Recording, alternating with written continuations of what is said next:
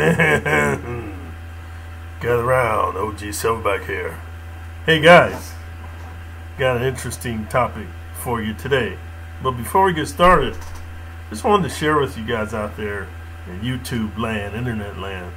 Uh, there was a guy commented on, on one of my videos. He goes, "Hey, great content, dude. Just uh, get rid of the background music." So I want to make a video about this, guys, but to give you a snippet here music actually influences the minds of men. And as always, hope that you guys would stop the video and Google some stuff. Just go music and influence of men since the beginning of time. And with our modern music, with the um, the rate that they play the music and the tracks and everything like this and all the stuff that they add to it, it's a great influencer of your thought patterns.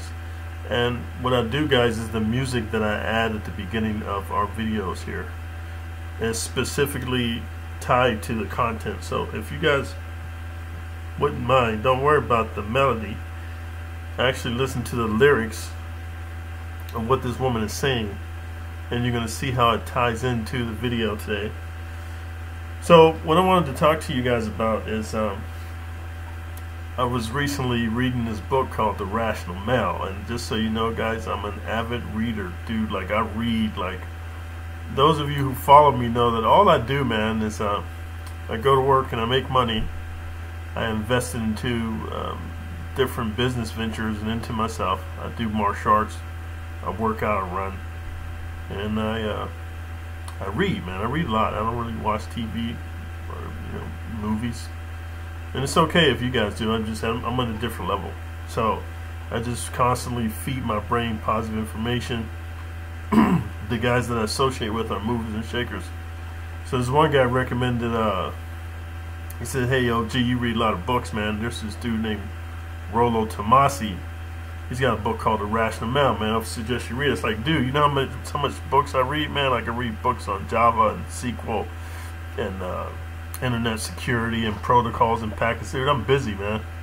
He goes, dude, if you if you're so much into self improvement, then you got to read this. This is a required reading. So, guys, when the people that I look up to recommend a book, I just squeeze it in. You know what I mean? And I, will make another video on my reading patterns because I read about uh, I don't want to exaggerate. I read about seven books at one time, and I'm going to tell you how I do it if you're interested. But so I, squ- I squ- squeeze the book reading in. And I had to tell you, man, it quickly rose to the top of the list of my recommended readings. And here's, I want to give you a quick snippet on what's so fascinating about this book. So Rollo Tomassi, um, he was a, a rock star in Hollywood. So those of you that don't know, I'm out here in California. So when you're living down in the Los Angeles area, you want to be either an entertainer or, or a rapper or a rock star or movie star or model something like that. You don't want to be a drug dealer or nothing like that, but there's a lot of them here. But you want to be somebody of influence and power. And rock stars, let me tell you, man, they, they just command a lot of uh, attention from women, right? And they have a good life. So he was a rock star in his 20s, and then he decided to go to college to study psychology, specifically behavioral psychology and inter, um, what does he call it, intersexual relations. And this dude was uh, for I think it was for 10 or 20 years. Don't quote me, guys, but you should read the books I provided the links there. This dude was one of the top commentators on SoSuave.com. And he's the one who invented the Manosphere. And the reason I'm actually had to do a video on this guy, I was so impressed because I, I have a degree in uh, female psychology as well. He has a PhD, I have a bachelor's. But the guy's insights are so thought provoking and profound that he caused me to change some of the concepts that I think of, and I'm I'm pretty red pill, man. I'm pretty well versed in women and and their morals and mores. But he breaks down game. He breaks down beta males, alpha males, different types of alphas, man. Um, this guy even goes into the mindset of a woman. Like I talk about hypergamy all the time, but he goes into the various levels of it and how it's evolved and how it's um, gotten to the point of being detrimental to them. So what I did was, uh, if you're listening, Rollo Tomassi, thank you for um, writing that book. It's one of the most thought-provoking, life-changing books I've ever read. Let me tell you guys something. I spent over hundreds of thousands of dollars. You should see my library, man. I got a library so so huge. Like I don't know if you've ever been to a doctor's house or a lawyer's house, right, or an accountant. Those are professions that you have to continuously have, like continuing education. And yes, I'm an IT consultant, and I do internet security for businesses and things like that, network security. But my main um, focus is I'm into I'm a perpetual student, self-development. So anyway, if you go to a lawyer or a doctor's house, first thing you know is they got a really huge library. Like I'm talking about the kind of walk-in where you push the ladder, you have to go up and down the ladder and stuff. So I have a library that is com comparable to that. Then I also have a storage facility where I have nothing but books. So I'm to rate his books as like one of the top three books I've ever read in my life. That's how profound it is. Like it's so profound for men in our modern society that I'm going to go out on a limb and say that it is it is actually it should be a mandatory reading for all modern men. Whether men listen to me or listen to other MGTOW, Manosphere, um, Red Pill, whatever, MRA. It's, it's a required reading for men because, I mean, it's mandatory to read it because he breaks down our modern society, how it's gynocentric, and, I mean, he, dude, I'm stuttering because it, it's just so prolific that you have to read it. And I'll even go a step further that this should be a required reading in school for all boys when they hit puberty like a 12 years old because it breaks down the dynamics between male and female interpersonal uh, relationships, intersexual relationships, man. He gets down into the psychology of why women are the way they are, how they develop, and more importantly, how you can choose to have a relationship with them, or relate to them in a way that is empowering and not demasculating.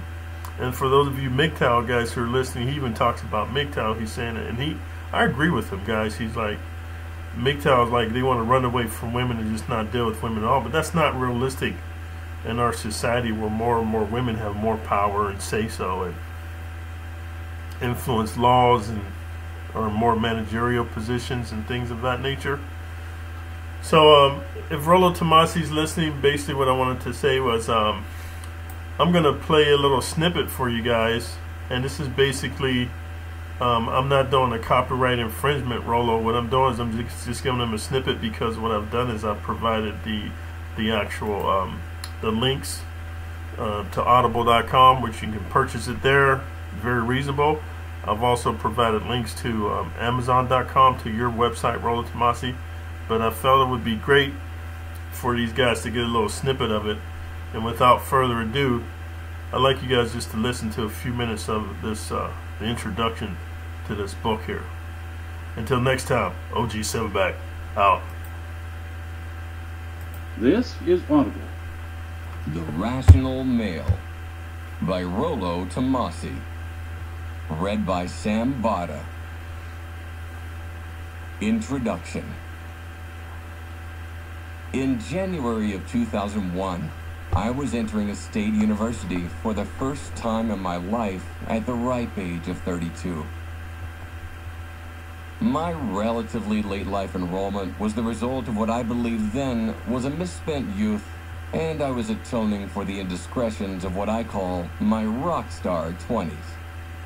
I had a lot of catching up to do thanks to the decisions I'd made in my early and mid 20s and a sense of incompleteness that I felt at the time. In hindsight, I'm glad I did return to school. Better late than never, because I was learning the intrinsic value of an education.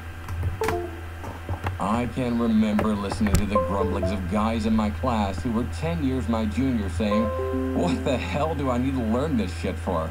It won't help me in the job I'm studying for. I suppose I might have felt the same way at 22 if I hadn't been more concerned with playing the next gig in the next band I was in on a weekend in Hollywood. I could never have appreciated the value of being an educated person.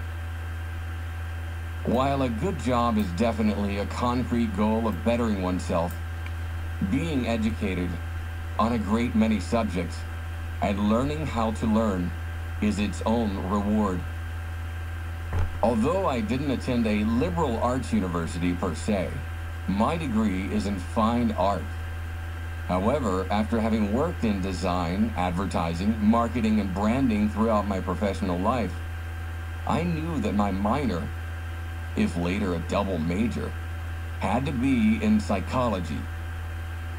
My initial interest in psychology was due to the want of a better understanding of the often difficult personalities I was forced to deal with in my career. So personality studies and behaviorism was a natural fit for me. Much of what I have compiled in this book is the direct result of over a decade of applying these schools of psychology to the gender dynamics I've experienced personally as well as the collective experiences of millions of men around the world. Connecting dots. While I was studying psychology, I felt a natural attraction toward behaviorism. Like most people, I was peripherally familiar with the more touchy-feely branches of psychology, like psychoanalysis, and the sit down on the couch and let's talk about feelings applications most people associate with psychology. Behaviorism was a much more concrete approach, one based on behaviors and the motivators for them. One of the primary foundations of game awareness is basing your estimation of a woman upon her actions and behaviors rather than her words or implied intents. This principle is founded in behaviorism's cardinal principle. Behavior is the only reliable evidence of motivation. Even motivations not consciously recognized by the actor can influence behavior regardless of a consciously rationalized motive. In other words, sometimes we don't realize why we're hypocrites or saints as the case may be. Coming to terms with this behavioral foundation was the first dot I connected between hard psychology and intergender dynamics. For roughly a year or two before I enrolled, I'd been actively posting on a few online forums attempting to help some young men with their girl problems.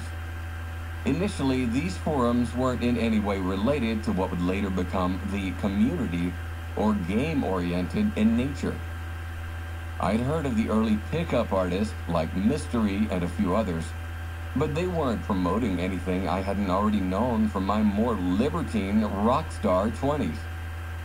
I was more interested in helping these guys not make the mistakes, for much of the same reasons, with women that I had.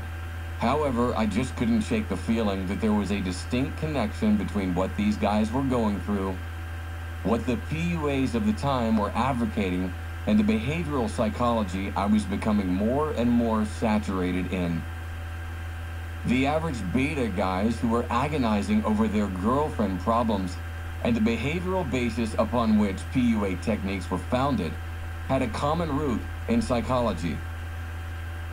About this time, I had joined the online community at SoSuave.com,